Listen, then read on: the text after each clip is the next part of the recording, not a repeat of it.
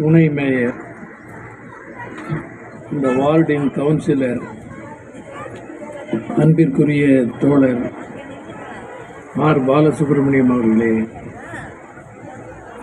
இங்கே எனக்கு முன்னர் உரையாற்றிய மதிப்பிற்குரிய கம்யூனிஸ்ட் இயக்கத்தின் மூத்த தலைவர்களில் ஒருவரான தோழர் ஜி. காளியப்பன் அவர்களே இந்திய கம்யூனிஸ்ட் கட்சியின் மாநில செயற்குழு உறுப்பினர் தொடர் எம். ரவி அவர்களே மாநகர் மாவட்ட செயலாளரும் மாமன்ற உறுப்பினருமான தொடர் எஸ். ரவிச்சந்திரன் அவர்களே ஏஐடிசியினுடைய மாவட்ட பொதுச் செயலாளர் தொடர் பி. ஆர். நடராஜன் அவர்களே இந்திய கம்யூனிஸ்ட் கட்சியின் புறநகர் மாவட்ட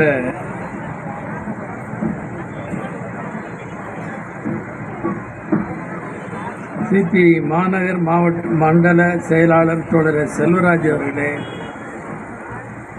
மூன்றாவது மண்டல செயலாளர் தோழர் செல்வ செந்தில்குமார் அவர்களே நாலாவது மண்டல செயலாளர் தோழர் ஆர் வடிவேல் அவர்களே இரண்டாவது மண்டல செயலாளர் தோழர் வி எஸ் சசிகுமார் அவர்களே.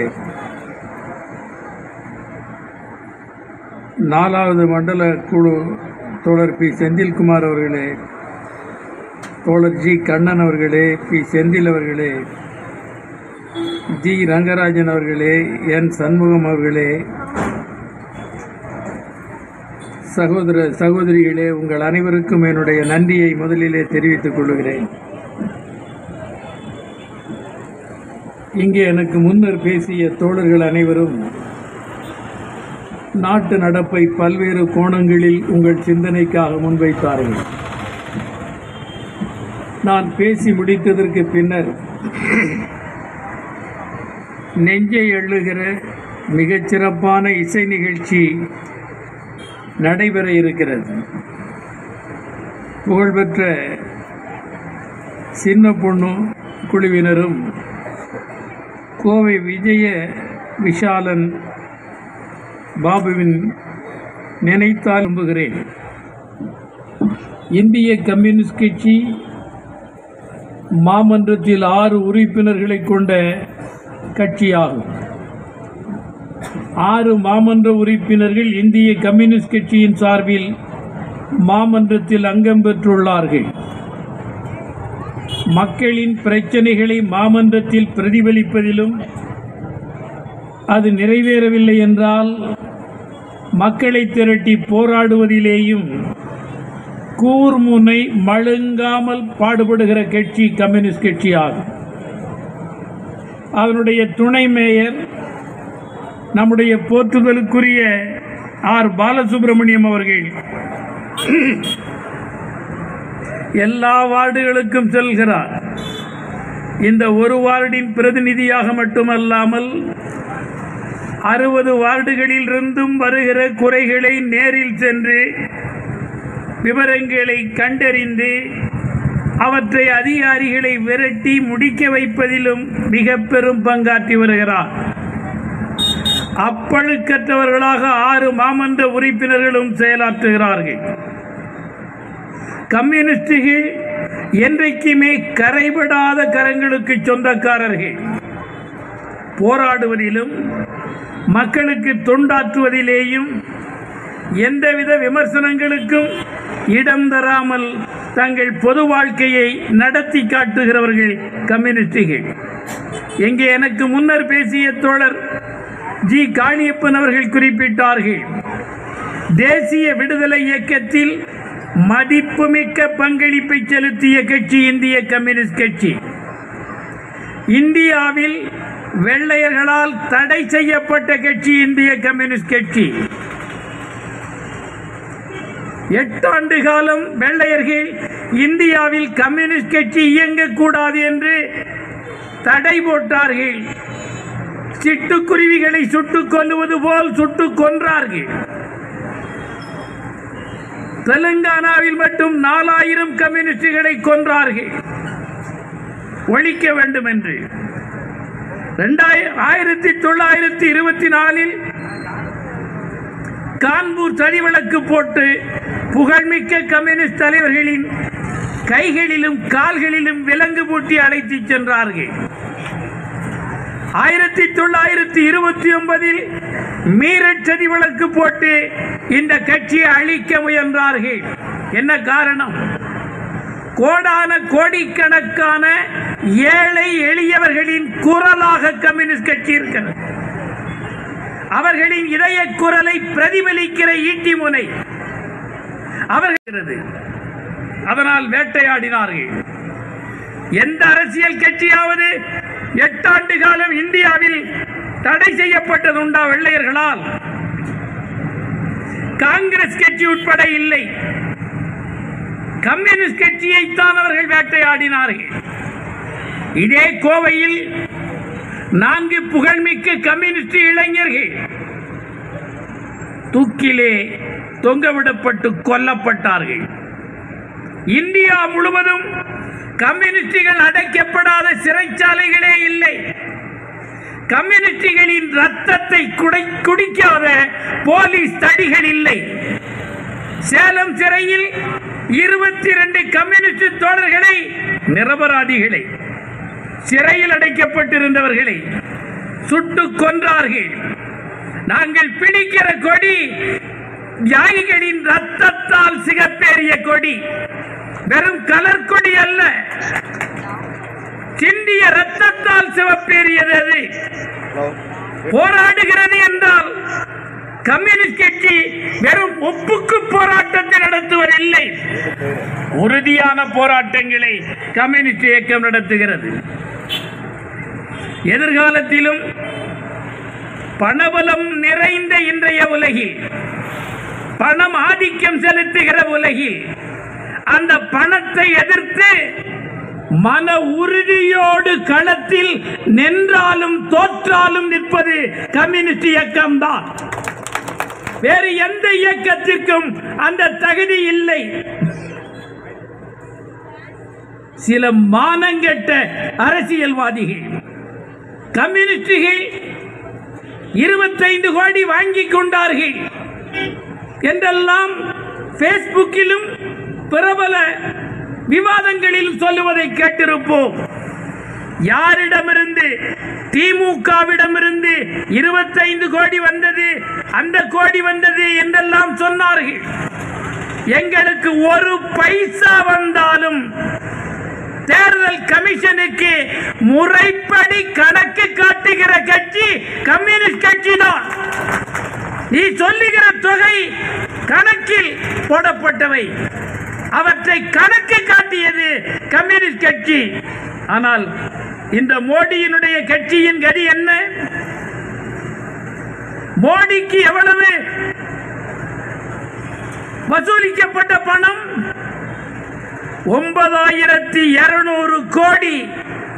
பிஜேபிக்கு இருக்கிறது ஒன்பதாயிரத்தி இருநூறு கோடி. எங்கிருந்து வந்தது? யார் கொடுத்தார்கள்? நான் சவால் விட்டு கேட்கிறேன். தைரியம் இருந்தால் அரசியல் நேர்மை இருந்தால் உனக்கு பணம் கொடுத்தவர்களின் பட்டியலை வெளியிட தயாரா? நாங்கள் வெளியிடுகிறோம். எங்கே எவ்வளவு வாங்கினோம் என்று வெளியிடுகிறோம். ஆனால் உங்களால் அப்படி செய்ய முடியுமா? இப்பொழுது தோழர் ரவி பேசுகிற போது குறிப்பிட்டார். தெரு தெருவாக தோழர்கள் வசூலிக்கிறார்கள். வீதி வீதியாக கம்யூனிஸ்ட் இயக்கம் குழு குழுவாக சென்று வசூலிக்கிறது. உண்டி குலுக்குகிற இடத்தில் உண்டி குலுக்குகிறோம். ரசீது போட்டு வாங்குகிற இடத்தில் ரசீது போடுகிறோம். சாமானியப்பட்ட சிறு உற்பத்தியாளர்களிடம் மளிகை கடைகளில் பெட்டி கடைகளில் தெருவில் போகிற மக்களிடம் கையெந்துகிறது கம்யூனிஸ்ட் கட்சி. ஆனால் மோடி அப்படி சொல்ல முடியுமா? இருபத்தி ஐந்து லட்சம் கோடி ரூபாய் நீங்கள் கொடுத்த வரி பணம். அதை என்ன செய்தார்கள்? அதானி அம்பானிக்கு வங்கிகளிலே கடன் கொடுத்து அதை ரத்து செய்தார்கள். என்ன காரணம்? மோடி ஏழைகளின் காவலர் அல்ல. அதானி அம்பானி போன்ற லட்சோப லட்சக்கணக்கான கோடிகளுக்கு சொந்தக்காரனுக்கு அரசியல் கட்சி அது. அந்த கட்சியை போல் பணம் உள்ளவரிடம் மண்டியிட ஒருபோதும் ஒப்புக்கொள்ளாது கம்யூனிஸ்ட் கட்சி.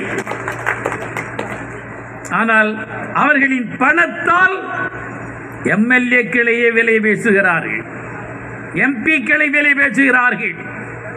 இந்த கட்சி தோற்கடிக்கப்படவில்லை என்றால் இந்த நச்சரவத்தின் கொட்டத்தை அடக்க வேண்டுமானால் இரண்டாயிரத்தி இருபத்தி நாலு ஏப்ரல் மாத இறுதியில் நடைபெற இருக்கிற நாடாளுமன்ற தேர்தலில் முட்டியில் வைத்து தட்டி எறிய வேண்டும் இந்த பிஜேபியை இது மக்கள் விரோத கட்சி தேச விரோத கட்சி.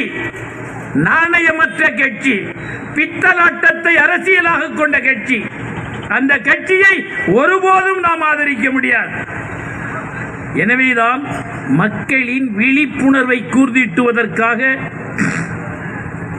திருப்பூரின் பல்வேறு பகுதிகளில் கம்யூனிஸ்ட் கட்சி அரசியல் விழிப்பு பிரச்சாரத்தை மேற்கொள்ளுகிறது இந்த பொதுக்கூட்டங்களின் மூலம். நான் கேட்கிறேன் தமிழ்நாட்டிலிருந்து ஜிஎஸ்டி பெயரால் வசூலிக்கப்படுகிற பணத்தில் தமிழ்நாட்டுக்கு எவ்வளவு கொடுக்கிறீர்கள்? பிஜேபியினர் பதில் சொல்லுவார்களா? ஒரு ரூபாய் வசூலித்தால் அதில் இருபத்தி ஒன்பது பைசா தான் தமிழ்நாட்டுக்கு கிடைக்கிறது. மீதி மத்திய அரசு எடுத்துக்கொள்கிறது ஒன்றிய அரசு. வெறும் இருபத்தி ஒன்பது பைசா என்றால் எழுபத்தி ஒரு பைசா மத்திய அரசு எடுத்துக் கொள்ளுகிறது மூணில் ரெண்டு பங்குக்கு மேல் எடுத்துக் கொள்ளுகிறது ஆனால் புயல் வந்தாலோ மழை வெள்ளம் பாதித்தாலோ ஒரு உதவியையும் செய்யவில்லை. நாங்கள் திமுக தோழமை கட்சியினர் அமித்ஷாவை நேரிலே பார்த்தோம். கடந்த பதிமூன்றாம் தேதி இருபத்தி ஏழாம் தேதிக்குள் நிவாரணத்தை அனுப்புகிறேன் என்று சொன்னார். அனுப்பவில்லை. மாற்றாந்தாய் மனப்பான்மையோடு தமிழ்நாட்டை தண்டிக்கிறது இந்த ஒன்றிய அரசு. எனவே ஒன்றிய அரசு ஒருபோதும் வெற்றி பெறக்கூடாது. இந்தியாவில் அண்ணல் அம்பேத்கர் வரைவு தலைவராக இருந்து நிறைவேற்றி இந்த அரசியல் சட்டத்தின் ரத்தத்தை சதையை குடித்து அரசியல் சட்டத்தை நாசமாக்குவது இந்த பிஜேபி. அண்ணல் அம்பேத்கர் சொன்ன எச்சரிக்கை இன்றைக்கு கண்ணுக்கு முன்னால் அரங்கேறுகிறது. என்ன சொன்னார்? நாடாளுவதற்கு நாட்டு மக்கள் நல்லவர்களை தேர்ந்தெடுக்கவில்லை என்றால் நல்ல அரசியல் சட்டத்தாலும் ஒன்று செய்ய முடியாது. யாரை தேர்ந்தெடுக்கிறார்கள் என்பதை பொறுத்தது. இவர்கள் யாரை தேர்ந்தெடுக்கிறார்கள்? குற்றம் புரிந்தவர்கள் எம்பிக்களாக இருக்கிறார்கள். குற்றம் புரிந்து நீதிமன்றத்தின் முன்னர் நின்று கொண்டிருக்கிற பலர் பிஜேபியில் எம்பிக்கள். மிக பெரும் கோடீஸ்வரர்களின் பிரதிநிதிகள். எனவே இவர்கள் வெற்றி பெறுவது எதிர்காலத்தில் வெற்றி பெறுவது இந்தியா மேலும் இருட்டாக்கப்பட்டுவிடும். இங்கே சொன்னார்கள் தோழர்கள் என்ன வாக்குறுதி கொடுத்தார்கள்? அந்த வாக்குறுதியை நிறைவேற்றினார்களா? ஒரே ஒரு எளிய உதாரணத்தை நான் திரும்ப திரும்ப பொதுமக்களுக்கு எடுத்துச் சொல்ல விரும்புகிறேன். ஒரு பதம் பாருங்கள் ரெண்டாயிரத்தி பதினாலில் மோடி அதிகாரத்திற்கு வர வாக்கு கேட்டு வந்த போது என்ன சொன்னார்? நான் மட்டும் பிரதமராகிவிட்டால் இந்த நாட்டில் ஒளிமயமான எதிர்காலம் பிறக்கும் என்று சொன்னார்.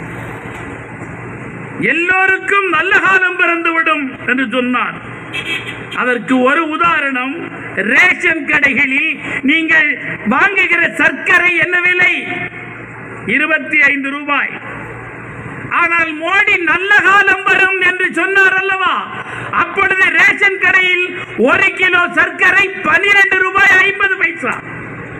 அதை இருபத்தி ஐந்து ரூபாயாக உயர்த்திவிட்டு நல்ல காலம் பிறக்கும் என்று சொன்னால் உன் நாக்கு அழுகி போகாதா? எவ்வளவு பித்தலாட்டம் இது அன்றைக்கு நானூத்தி பத்தொன்பது ரூபாய். சமையல் கேஸ் இன்றைக்கு ஆயிரத்தை கடந்து விட்டது.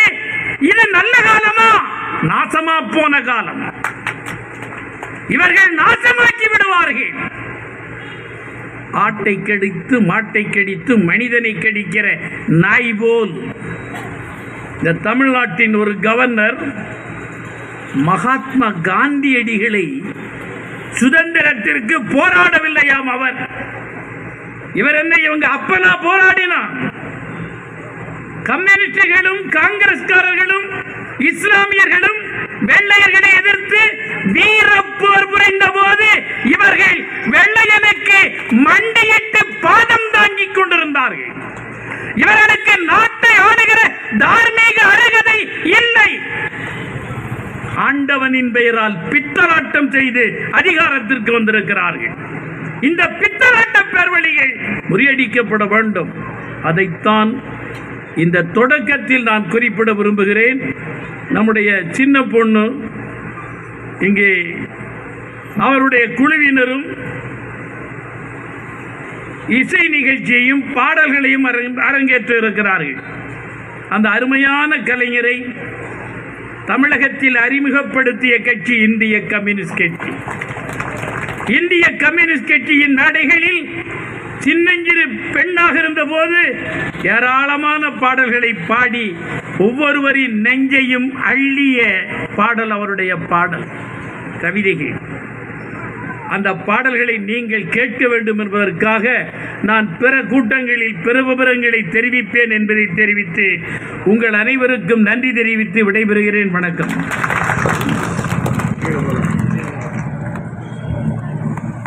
இதுவரை பொதுக்கூட்டத்தை அமைதியாக கேட்டு கைதட்டி உற்சாகப்படுத்திய நம்முடைய தோழர்கள் அனைவருக்கும்